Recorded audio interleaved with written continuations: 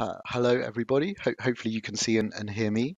Uh, and thank you so much, uh, Tina, for the introduction. It, it's a real privilege um, to be here and to to have the chance to to to do this and to um to hopefully give some useful insights about uh, the state of play of, of EU politics and, and, EU policy making right now. Um, as Tina mentioned, uh, I, I, work uh, as a consultant at FleishmanHillard in, in Brussels. Uh, but until recently, um, and for most of my career, I was a journalist in, in Brussels, um, working for the FT uh, and Bloomberg, uh, among others. So um, my, uh, my job was to run around and get other people to talk about what on earth was going on with with EU politics and and policy making, and uh, it, it's very gratifying and um, frankly cathartic to have the chance to to now do that myself and and share my thoughts with you and I, I, I very much hope they're useful.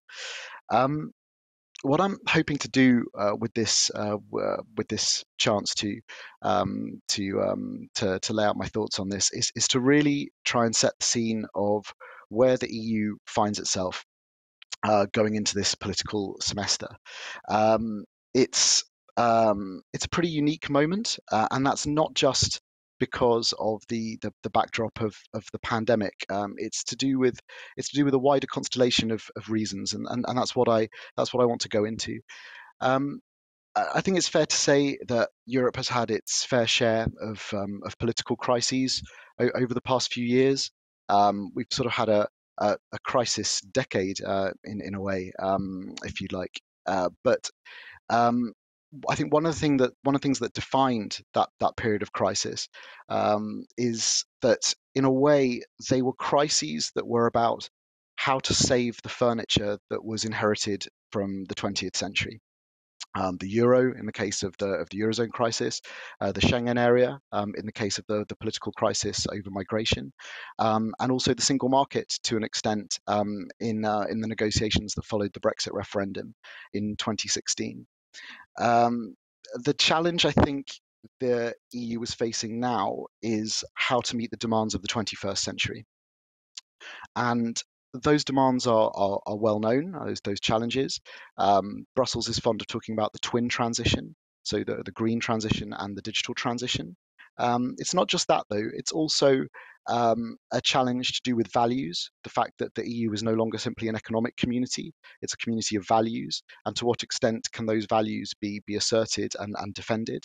Um, and it's also a challenge bound up by uh, the growing political drumbeat now for greater strategic autonomy, uh, which is something born out of um, events during the Trump administration in the US, uh, to do with um, strategic rivalry with with China, uh, and also to to do with uh, lessons drawn um, from from the pandemic.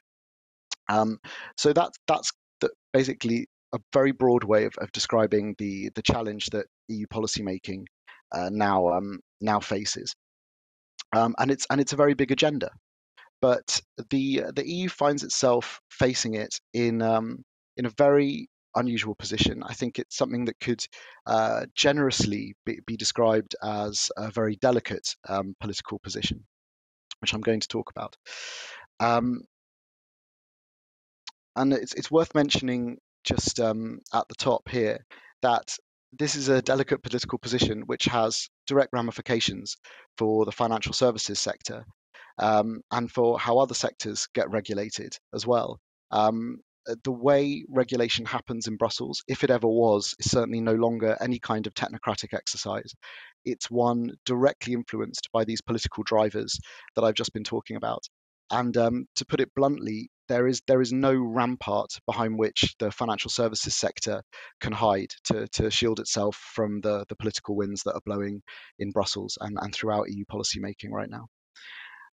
I think perhaps a useful way to to describe the situation we find ourselves in is to imagine um, the the the sort of strategic outlook of Ursula von der Leyen, the, the president of the European Commission, and to imagine her in her office on the 13th floor of the Berlaymont, the, the European Commission's headquarters in Brussels, as, as she sort of takes in the, the challenge that is facing her uh, over the over the coming months and uh, and indeed for the remainder of her mandate.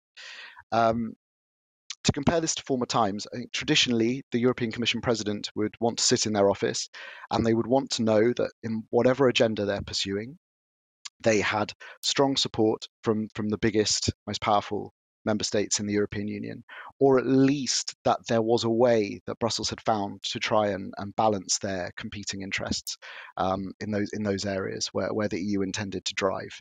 And um, at the moment, uh, to put it kindly, that's that's not quite where we are. Uh, one of the big traditional EU member states has left the Union entirely, um, which is something I will, I will come back to talk about a bit more. And it's now increasingly obvious that it is a it is a strategic competitor sitting at the EU's doorstep, which is not a problem that the EU is, is familiar with. Uh, another large member state, Germany, is the home of Ursula von der Leyen's principal political patron throughout her entire career, Angela Merkel. Well, Angela Merkel is is leaving the scene. She's not, not off the stage yet, but is, is, is, is certainly is certainly due to leave it in the near future. And um, the country is is politically in a in a state of flux, and um, it looks like it might stay that way for a while as as coalition, as coalition negotiations go on. Uh, Italy is under, from Brussels' point of view, its strongest, most stable, most pro EU leadership in a long time uh, with Mario Draghi. But that is um, leadership and a government with a time limit, simply because of the nature of, of the agreement of the coalition that supports Mario Draghi. And then that brings us to France, which is now going into its own election cycle with Emmanuel Macron uh, facing the challenge of re-election next year. Um, and it, it's, it's worth just as an aside, I think, just noting that even though uh, Macron is, is approaching a re-election campaign, he is in something very oddly for the EU, uh, akin to a kind of EU version of a unipolar moment. Um, given given the the situation I've I've just described, um, he is the principal sponsor left for Ursula von der Leyen's nomination as president of the European Commission. He is a close political ally of Charles Michel, the, the president of the European Council, and he finds himself, by virtue of the calendar, about to take over the EU's rotating presidency, the rotating national presidency, um, at the start of, of next year. Um, all of which are um, very powerful ways to have an influence uh, over the agenda in Brussels um, especially when uh, other countries might be a bit more preoccupied with their internal politics and coalition forming. Um, not just countries I've already talked about, but also the Netherlands, for example, as well. Um, so that's definitely something I think worth bearing in mind um, to try and understand events as they unfold uh, over the over the coming months. Uh, back to, to von der Leyen in her office. Another thing a European Commission president would usually want is to know that alliances are secure and that um, and that basically there is as much as possible a shared multilateral agenda in the international community. Uh, the EU is a, is a multilateral actor um, from its very DNA, um, and I think um, another way of sort of understanding a bit about what's going on in EU policymaking right now is is just to understand that the EU is constitutionally, by its very nature, ill adapted to to an environment of great power rivalry on the international scene. Uh, but as we've seen recently, it's no surprise to anybody. Uh, relations with the US right now are pretty complicated. And um, that's not just because of the withdrawal from Afghanistan. Uh, it's not just because of submarines. Um, I think what we're discovering is the limitations of political space on both sides of the Atlantic uh, when it comes to the ability to take big initiatives together. And that manifests itself in various ways. Um, just to give a couple of, of examples, um, the possible difficulties getting an international tax deal through Congress, uh, the difficulties of having a transatlantic deal on data, crucial for the development of the digital economy, um, the um, French pushback against having a more ambitious agenda for the inaugural meeting of the Trade and Technology Council, perhaps something born not just out of anger over submarine contracts, but um, also out of strategic autonomy considerations in, in areas such as semiconductors. So, um, you know, short way of summing up the EU-US relation relationship right now is it, it's complicated. Um, that then brings us to another crucial strategic partner for the European Union, and that's the UK, because the, the UK is undoubtedly going ahead a crucial partner, and that, that partnership will matter. But it's it's a partnership that's not really materializing uh, at, at the moment. And there's uh, a couple of things I can say about this. Uh, the first is um, that um, and sometimes I feel this isn't said enough, actually. Things that are said in London get noticed in Brussels. And, and all of us who are here working in, in this world, be it in journalism or in consulting, uh, can see that just from every conversation we have with a policymaker here. Um, just to give an example, uh, the UK government last month set out its plans to review or, or drag a comb through all the remaining UK, um, all the remaining, sorry, EU legislation that's still on the uh, on the UK statute book. Um, when it did that, uh, it explained it in terms of obviously the fact that the, you know the UK is no longer in the EU or the single market, um, but it, it chose to use certain language in the way it um, it explained what it was going to do. So, just to give a couple of examples in, in documents the UK published at the time, uh, on financial services, for example, the UK said the regulatory regime that we've inherited from the EU is inflexible and overly restrictive. To give just one example, um, to give another, um, GDPR, which is obviously seen as, as one of the EU's crowning regulatory achievements, was um, was was described as something the UK needed to move away from, uh, with an announcement that the UK would look for a more proportionate and less burdensome system than GDPR. Um, there was also a, a, quote from David Frost, um, the Minister of State at the Cabinet Office, saying that uh, overbearing regulations were often conceived and agreed in Brussels with little consideration of the UK national interest. Uh, little consideration of the UK national interest.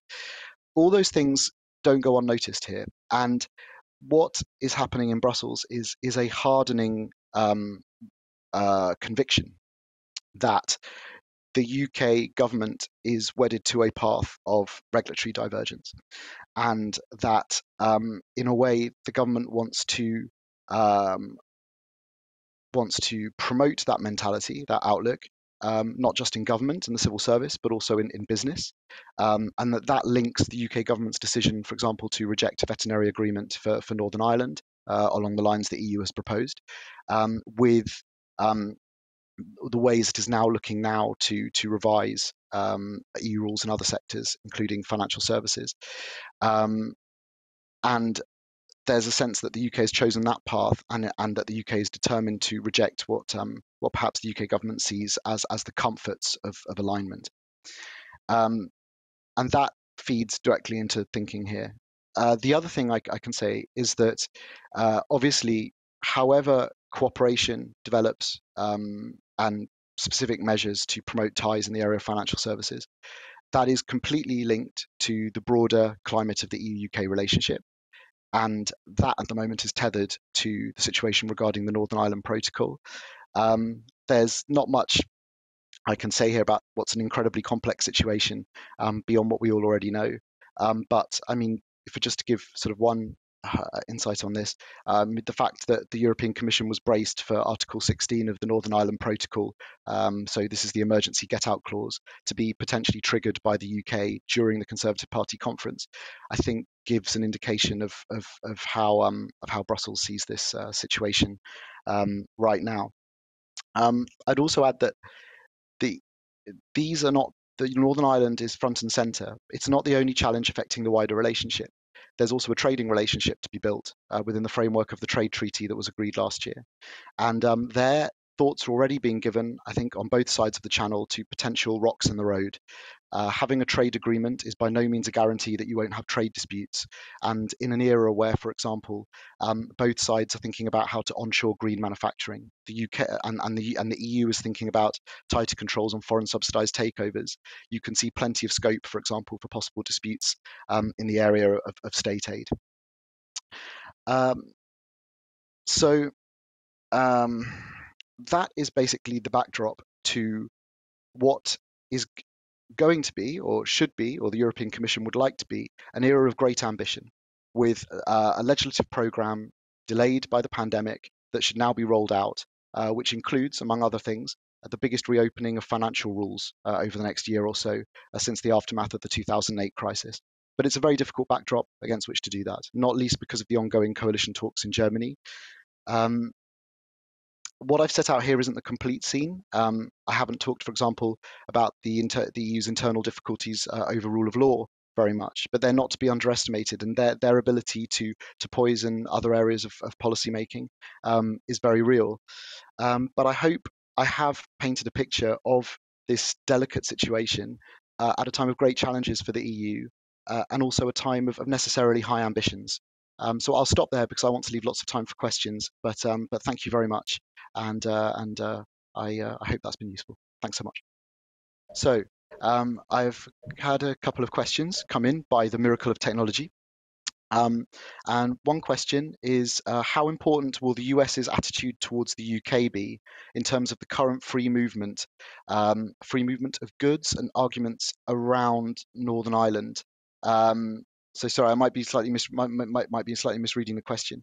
Um, uh, I can say that this is something which the EU is monitoring incredibly carefully, and um, despite all the current difficulties in the relationship with the US, obviously the EU is at pains to get across its side of the story concerning Northern Ireland, and um, it, I, I think it's it's not overestimating it to say that the EU is counting on the US here um, to, to play an important role.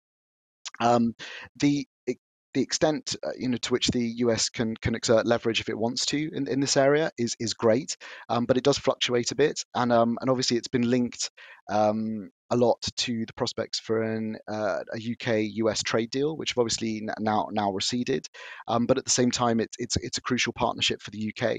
So I think it's somewhere where the, the EU is is placing lots of hopes. But um, I mean, just to flesh this out a bit, th- there's a difficulty here, which is that the um, um, if you sort of look at the work of Maros Šefčovič, so the EU's Brexit commissioner, when he goes and debriefs EU member states, he says to them, look, um, I'm going to look for every solution within the, the remit of the protocol. We're not going to renegotiate the protocol like, like the UK wants, but I will look for every creative solution within the protocol. And um, and then what happens is the vast majority of EU member states turn around and say, "Oh, fantastic! There's there's wiggle room in the protocol. That's excellent. Please go away and explore it." And and park the problem again with, with the European Commission because frankly their political bandwidth is taken up a lot by other issues as well. Um, and so that leaves the European Commission in a very difficult position um, because it's also the argument that then puts towards the US saying, "Look, we're going to explore creativity within the framework of the protocol, um, but we're not going to reopen the protocol." Um, what no one knows, and that's why this is difficult, is how far that can really take you. And that's something which is still being worked out. And so the, the huge question right now is can it take you far enough to find some kind of lasting understanding where all parties are broadly satisfied? And I think that is a very big open question right now. Um, so thank you very much for that question and apologies for answering it with another question, but that's that's the privilege of being a speaker at these events. Um, then I've got a second question, which is Do you see any movement on the access of financial services firms uh, to the single market from the UK? Um, uh, okay, so uh, I actually, just as it happens, I did check in about this with the European Commission um, the, this morning um, in, in various ways. Um, and um, th- so th- this is a very this is a very difficult one. Um, the Commission is currently considering, to my understanding, what to do. Uh, and uh, when it comes to the issue of um, the temporary equivalence decision on on clearing, um, which is what's front and center here right now, and hasn't decided what it's going to do. Um, uh, but it's it's clear that for the Commission now, as it contemplates what to do about the fact that the deadline is looming, uh, it's clear that any um, any steps that are taken now need to fit into a need to fit into a strategy and need to be steps which which uh, which have which have credibility um, in terms of laying out a plan to to develop um, the euro clearing market. Uh, inside um, inside the single market. Um, in terms of broader um, equ- equivalence decisions, uh, to be honest, I, I, think that is very tied up to the wider relationship, and that, that, that's just not going to be on the horizon while the situation with the Northern Ireland Protocol remains as it is now.